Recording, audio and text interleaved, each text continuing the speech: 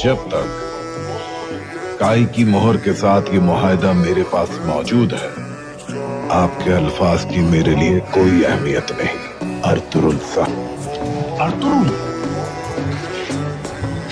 इतना ज़मीन का सरदार आला।